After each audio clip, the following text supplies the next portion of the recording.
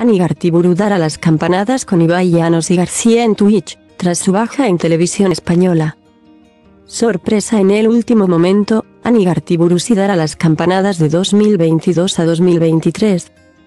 Pero lo hará con Ramón García y Llanos en el canal de Twitch que tiene el popular streamer.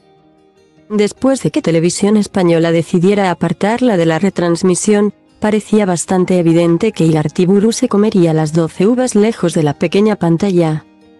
Sin embargo, el youtuber más famoso de España ha querido contar con ella para su particular programación navideña. Anigartiburu estará en mi canal de Twitch dando las campanadas. Es un auténtico placer contar con ella para el último stream del año.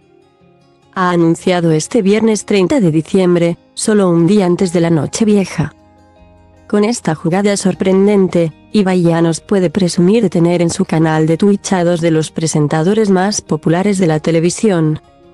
Dos estrellas que han retransmitido las campanadas en multitud de ocasiones para los espectadores de televisión española. Donde incluso han coincidido varios años. Resulta más que llamativo el inesperado giro de televisión española al anunciar que Ani Gartiburu no daría las campanadas este año, Después de 17 años en la Puerta del Sol, se había convertido en toda una eminencia.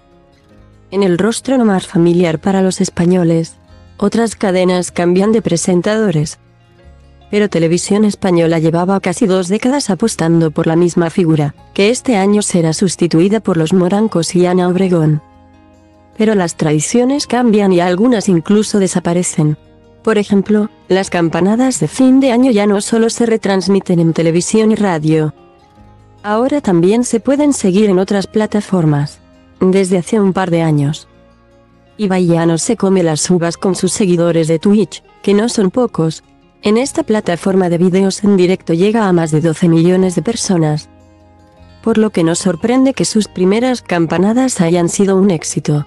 Por ejemplo, el año pasado, a las 12 de la noche, tuvo 552, 345 dispositivos conectados. Lo que en cierto modo podría equivaler a más de medio millón de espectadores. No obstante, conviene matizar que sus datos de audiencia se calculan de una forma muy particular y siguen siendo muy inferiores a los que manejan las grandes televisiones.